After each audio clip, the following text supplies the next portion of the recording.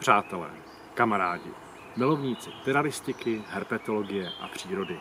Já vás vítám u dalšího dílu našeho pravidelně nepravidelného terárního okénka.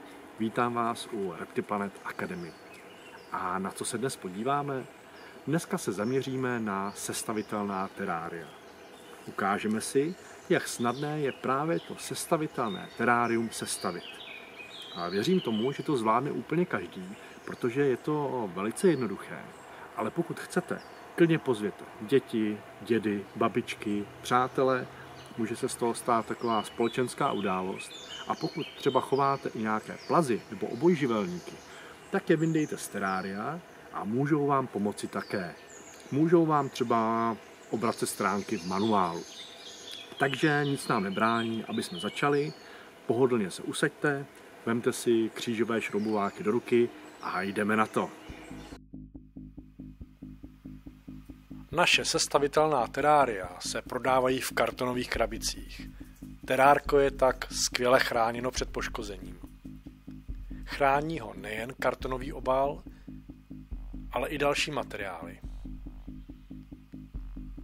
Jako je například polystyren. Všechny díly jsou zabaleny zvlášť a nehrozí jejich poškození. Zvláštní péče je věnována především sklům.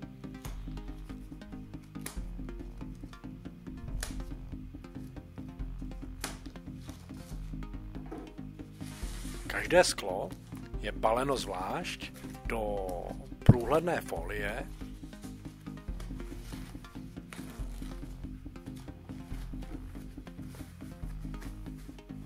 a riziko poškození se tak velmi minimalizuje. Velkou výhodou takto balených skel je i to, že nedochází k jejich opatlání. Takže skla jsou po vybalení krásně čistá.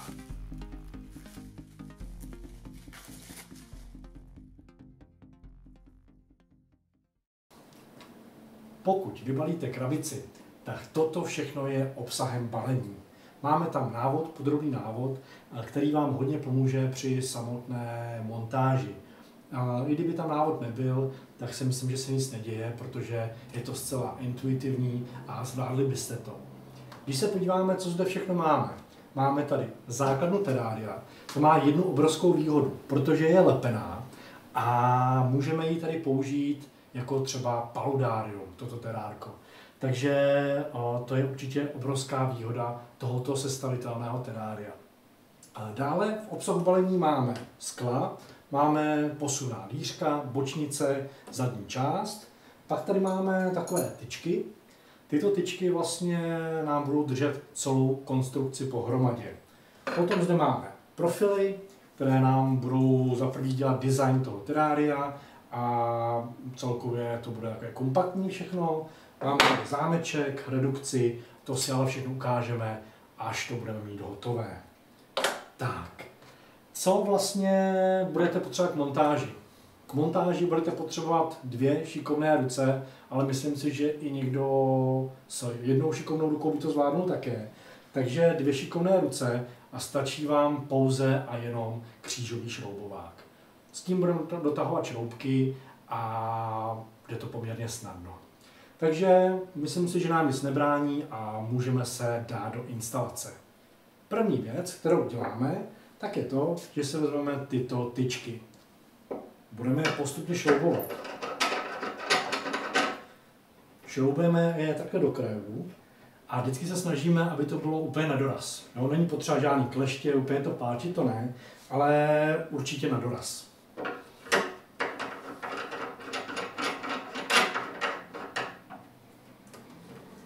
U těchto tyček není úplně dáno, co je přední část, zadní část nebo respektive hořejček spodek, závit je stejný, ale kdyby náhodou vám to někdy šlo hodně stuha, stačí, když tu tyčku lehce otočíte a už to půjde mnohem s nás.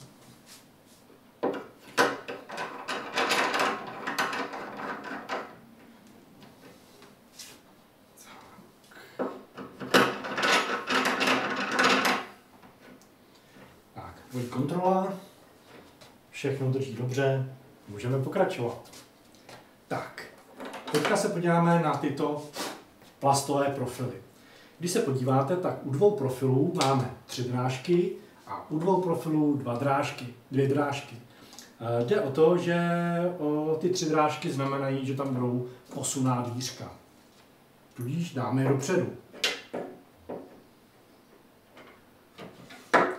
Tady potom drážky vlastně poznáte, že máte i v té spodní části té základny.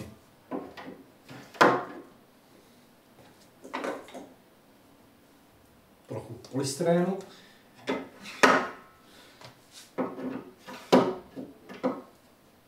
Tak. To máme vlastně takovou tu základní část. Na co si určitě dejte pozor, tak je to, abyste měli zhruba stejně zašroubované ty tyčky. Protože když se jak letmo povidíváte, tak vidíte, že máme krásně zhruba ten, odhaduju, 8,5 mm venku. Kdybyste viděli, že nějaká je málo zašroubovaná, tak určitě více dotáhnout. Tak, to máme tedy základní, základní eh, část, neboli základnu. Teďka přejdeme na vkládání skel. Skla tam vkládáme takto jednoduše.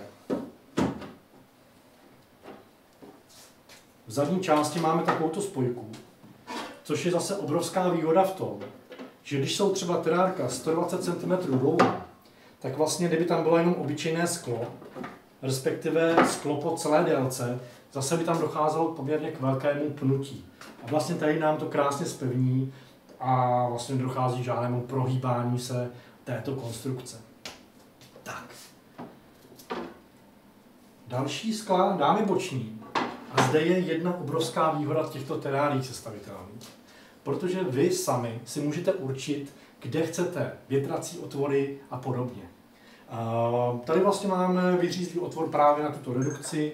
Ta se třeba používá pro další příslušenství, jako jsou například mlhovače, rosící systémy a podobně. A to vlastně potom tam vložíme do toho skla. A my vlastně se můžeme rozhodnout, jestli to chceme vpravo nebo vlevo. Příklad, třeba vlevo nebo vpravo máme televizi a bylo by blbý, kdyby nám to vlastně větralo do této části, kdyby třeba tam unikala vlhkost. Takže si to vlastně můžeme dát na druhou stranu.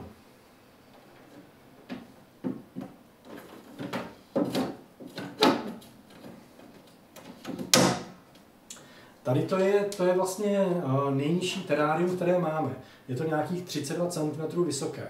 Takže nemáme odvětrávané bočnice u tohoto základního modelu. U modelů, které mají 45 cm anebo 60 cm, tak tam už je mřížka i v bocích. A teďka právě nám přijde novinka, je to otázka nějakého měsíce, samozřejmě otázka, kdy koukáte na toto video, ale je to zhruba srpen roku 2020, tak vlastně nám přijdou takové speciální adaptéry, že ty boční skla vyměníte za síťované části. Takže máte taková napůl síťárka. Myslím si, že to je super věc pro zvířata, které potřebují opravdu více svěžího vzduchu.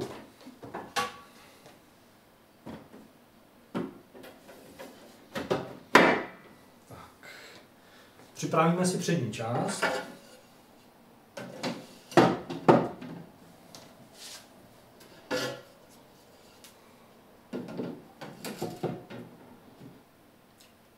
Dalším krokem, který uděláme, tak je, že vložíme vrchní část.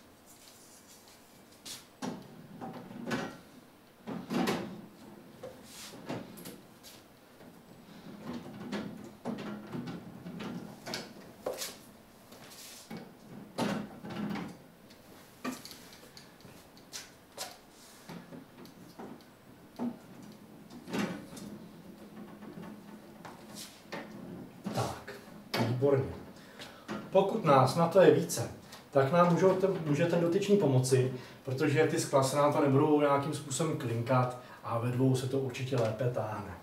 Tak. V tuto chvíli použijeme šroubky.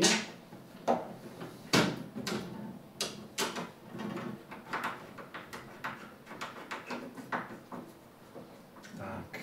Postupně to zašroubujeme.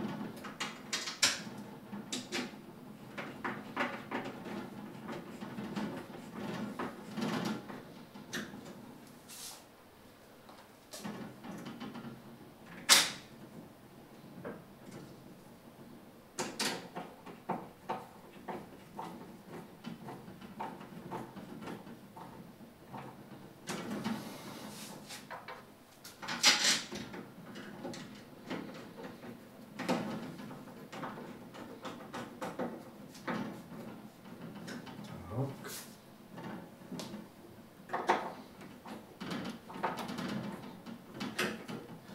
Lehce dotáhneme, není potřeba úplně na krev.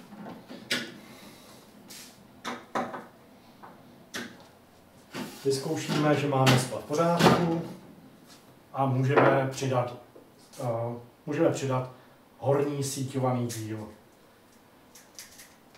Tak.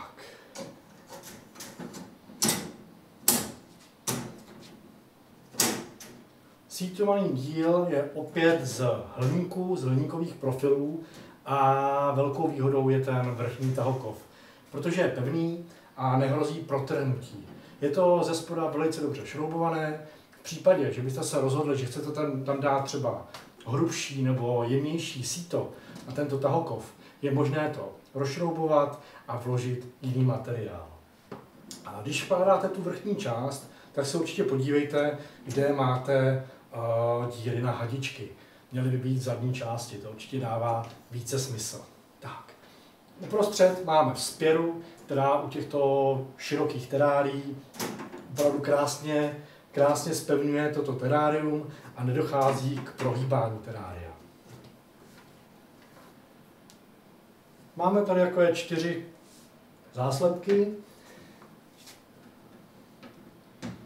Tak můžeme takhle krásně to uzavřít. To je první možnost. Druhá možnost je ta, že můžete tato terária na sebe stohovat. Máme připraveny pro vás takové adaptéry eh, ve dvou eh, velikostech, ve dvou výškách a vy vlastně můžete dát ideálně maximálně tři terária na sebe. Takže máte tam vlastně manipulační prostor, jak třeba pro odendání toho víka, nebo pro použití eh, lamp, světel, třeba Rectiplanet nebo jiné značky. Uprostřed máme takovéto zámečky, které zase zabraňují, aby to zvíře, třeba to vrchní síto nebo ten vrchní díl vytlačilo nahoru. Předposledním úkonem, který při sestavování terárka uděláte, tak je to to, že tam vložíte tento adaptér. Někdy se může stát, že je to hodně došroubovaný, takže určitě nepoužívejte nějaké kleště, že byste to zkoušeli otočit a podobně. Stačí tam vložit toto část a vlastně klasicky odšroubovat. Jde to krásně, takže se nestane, že by došlo k nějakému poškození.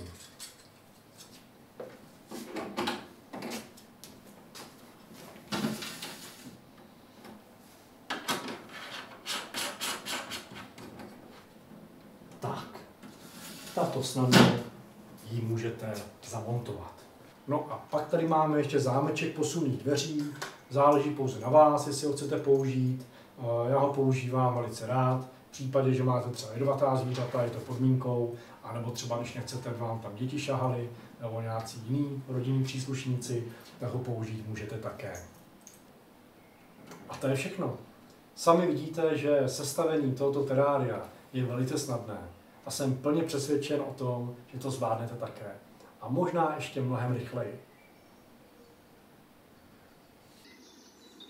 A to by bylo pro dnešek všechno.